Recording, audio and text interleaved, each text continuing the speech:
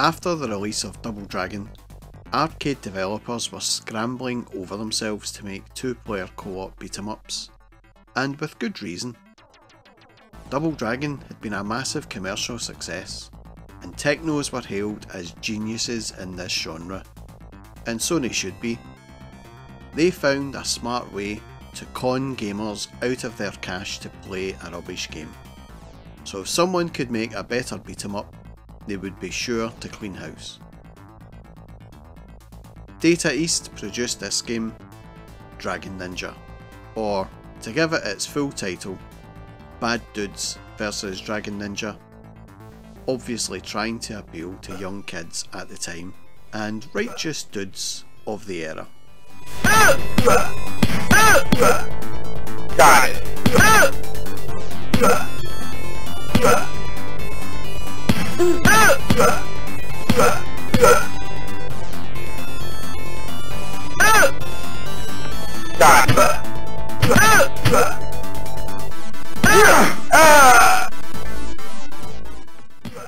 Unlike Double Dragon, Dragon Ninja is played across a single plane, something Data East seemed to stick to for years.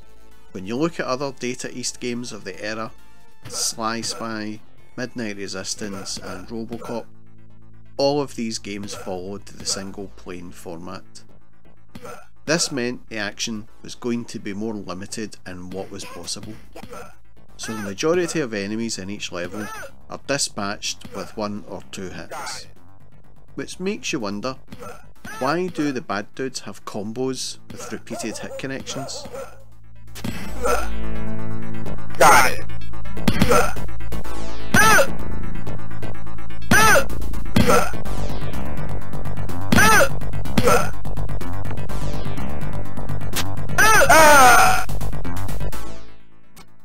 Game is set in a fictional Washington DC where President Ronnie has been kidnapped. President Ronnie being a play on the US President of the time, Ronald Reagan. So the President has been kidnapped by the evil Dragon Ninja, and it's up to the bad dudes to stop him and save the President.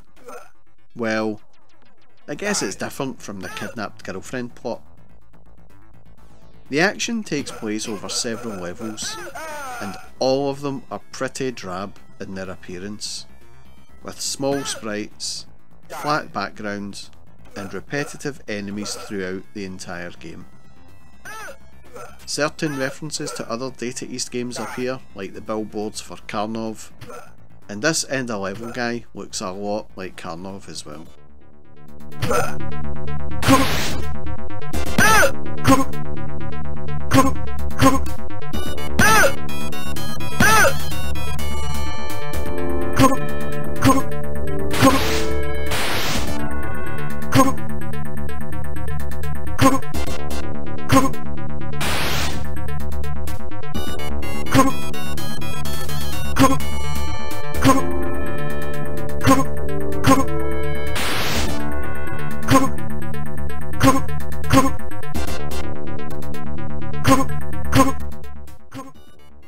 sound is pretty good. The music is nothing to dance to. The end of level boss tune, I think, got pinched by Sega in their Mega Drive game Spider-Man vs. the Kingpin. The sound effects of the hits are pretty beefy, and quite a fair amount of speech can be heard as well. Something that was becoming more common in games, but still pretty rare. And actually, the speech in this game is pretty clear, if I am being honest, and overall, I thought the sound was fairly polished. The gameplay is fairly linear and basic, which is what you would expect from a single plane beat 'em up, but it's still a pretty enjoyable game to play. I do remember playing this on more than a few occasions in the arcade with a mate, and not being very good at it, as was the case with my game playing ability in those days. But I stuck with it a few times. I never completed it or anything, but I felt it was a decent game to get on the Commodore 64. If it ever came out. Ah!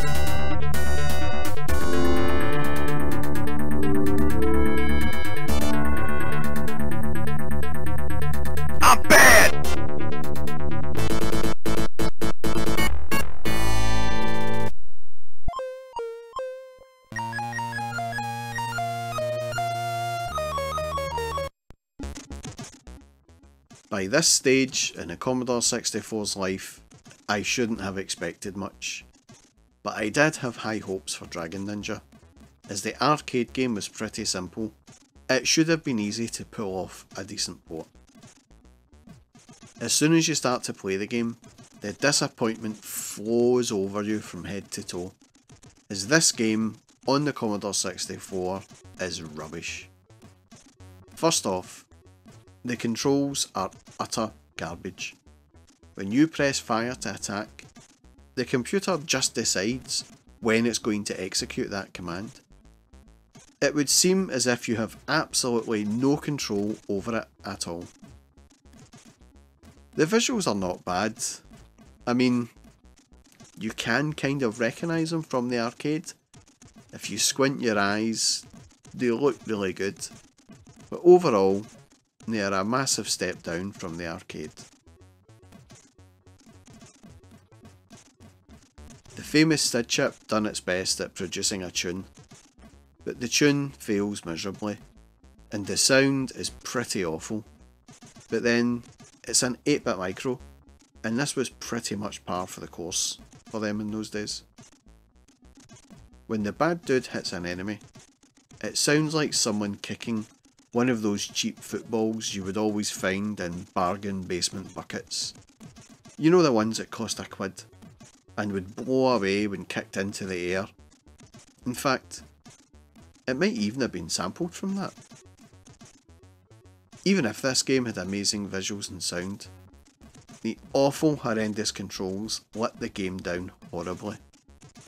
And when I got the game, I was beginning to wonder why I had bothered.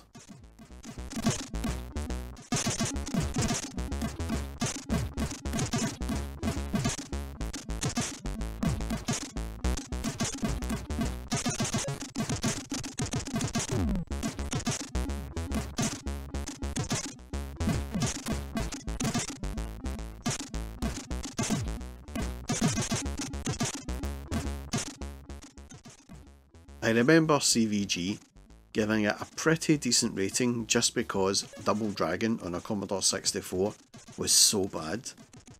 That's no reason to give a game a decent score. So because of a lack of competition, it got a good score. How did magazines get away with that at the time? My head had been beginning to turn towards the Sega Master System, and games like this just turned it round even further.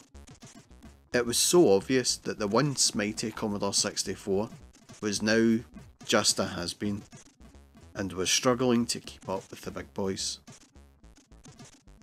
Anyway, that was my look back at Dragon Ninja. If you like this video, then please do give me a sub and a thumbs up, or maybe even a comment or two below about your memories of Bad Dudes versus Dragon Ninja.